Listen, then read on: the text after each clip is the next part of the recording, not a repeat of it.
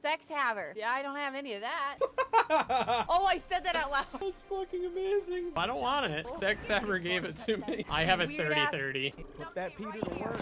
Well, sounds like you put your Peter to work. Ah, we all got fucked on.